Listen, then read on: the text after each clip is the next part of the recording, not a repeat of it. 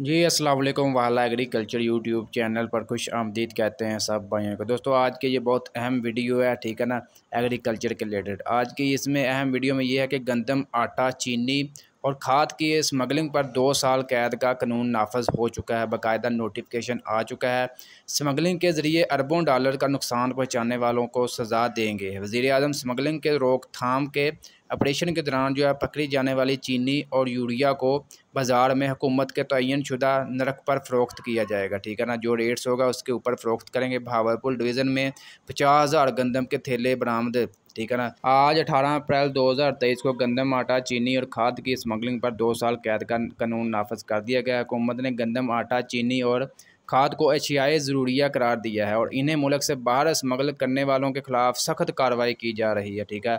Smuggling में मुलवस अफराद को भारी जुर्माने और दो साल तक कैद की सज़ा हो सकती है। फेडरल बोर्ड ऑफ़ रेवन्यू ने कस्टम एक्ट के तहत अपने अख्तियार इस्तेमाल करते हुए इन चारों एशिया को ज़रूरी एशिया करार दे दिया है।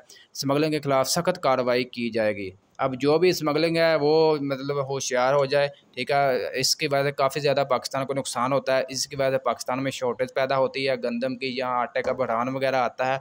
तो इसको रोकने के लिए हुकूमत पाकिस्तान ने अच्छा इकदाम किया अब इस पर अमल लाजमी होना चाहिए। तो दोस्तों ये थी बहुत अहम अपडेट दो, दोस्तों के साथ शेयर करना लाजमी थी। अपडेट आपको अच्छी लगी लाइक करें चैनल को सब्सक्राइब कर लें।